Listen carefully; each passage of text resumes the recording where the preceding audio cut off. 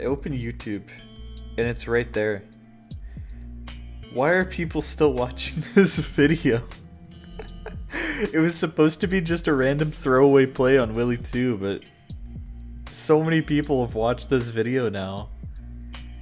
It's ridiculous. I feel like I need to I need to follow this up with like some crazy play.